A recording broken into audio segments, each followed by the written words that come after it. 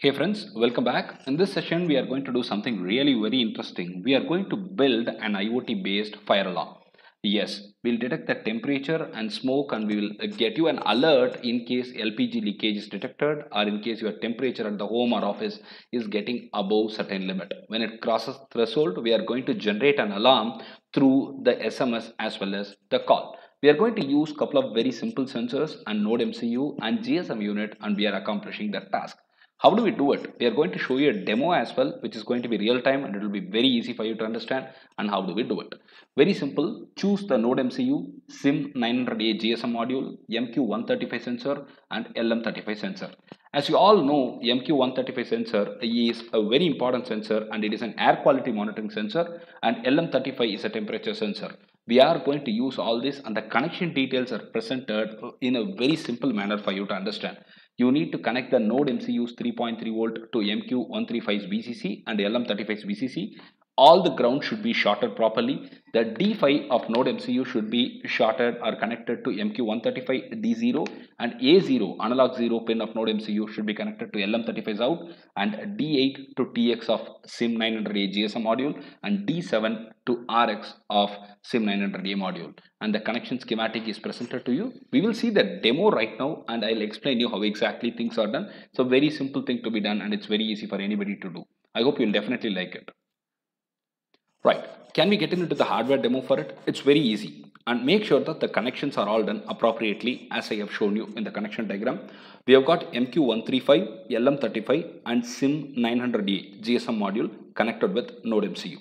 As I told you already, the MQ135 sensor is an air quality monitoring sensor which has got a lot of applications and we are going to use it as LPG detector. This is how we have connected it and it's a very simple connection as you can see. This is the uh, sensors that we have used. We have got the LM35, MQ135 and Node MCU. We have not used any higher end microcontrollers. Node MCU is available there. GSM 900A is there. SIM 900A. And let's understand more about this MQ135. Uh, if you see the sensor, this is the one which is going to get us the intimation of the presence of LPG gas. Turn it upside down, you've got a lot more things to note. When you turn it upside down, you will see a lot of indications over there. The first one is the power indication. You can see that that indicates the sensor is working fine and it is on. That's a power indicator. And the next thing is the potentiometer, which will help me in tuning towards getting the correct sensitivity. We have tuned it already and it's perfectly working right now. And there is something more called as D0 LED. What is it? That's the one which is going to be glown when the presence of LPG is understood when the LPG is available and if it is detected, we get this D0 LED glowing immediately. So we are going to use this facility and we are going to get it done. The code is presented on the left hand side, go through it at your comfort. Now I'm going to use the lighter, cigar lighter and it's going to get the LPG out and we will detect it immediately and there will be a call and a message and in the code make sure that we are updating our mobile number properly with country code appropriately. That's what i'm doing right now. I'm using at commands for it for the calls as well as the messages. We need to do it correct. Otherwise you won't get the call. Also you can see that i've got a message as emergency. Your house is under risk of fire or lpg leakage and that's also printed. That is what you will get when the lpg's leakage is detected make sure you selected the right board and right COM port is updated without which you won't get the output. Let's go ahead with compilation of it. I'm compiling it right now and the compilation is all proper. You can see that it's done and then uploading happens.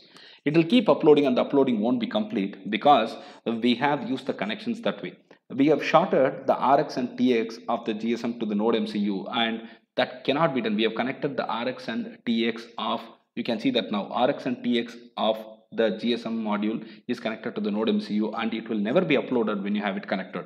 Pluck it out, try uploading, it will all be done and once it is done, reconnected. This is a very important thing to be done. Though you have used the software serial library, this is to be done and once it is uploaded, you can connect it back on the slot. Now you can see that done uploading message has come and we are connecting it back onto the slot and now it's all right. That's all we have done it. Now can we go ahead and open the serial monitor?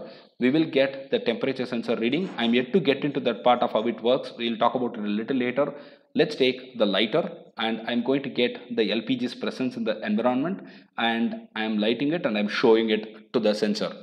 now once the presence is detected we will get the d0 led immediately glowing as well as alert will come to us you can see that the d0 led is bright and glowing right now and alert lpg gas is leaking in your house is the message that you have got now I told you that we'll get a message and a call. The call has come right now in front of you and we will get a message as well. We need to wait for a couple of seconds and the message would have come. Let me cut the call and we will get the message right now. It will take maybe 10-15 seconds based on the network connectivity and the speed that you have. Uh, once, yes, you got it right now. And you can see that emergency your house is in risk. So we have detected the presence of LPG. Now how are we going to use the temperature sensor? I'm going to try to increase the temperature and the temperature sensor will understand it. With the usage of lighter, I'm going to increase the temperature. Once the threshold is crossed, we'll get an alert, call, message. All these things will happen immediately and that's what I'm going to do right now. Stay tuned. I am now using the lighter. You can see that I'll lamp, I'll light it right now. The temperature will be increased slowly you can see that in the real time the temperature gets increased. 32.26 it is. It will go on to 40 45 like that it will go because the temperature gets increased and it's very close to the sensor.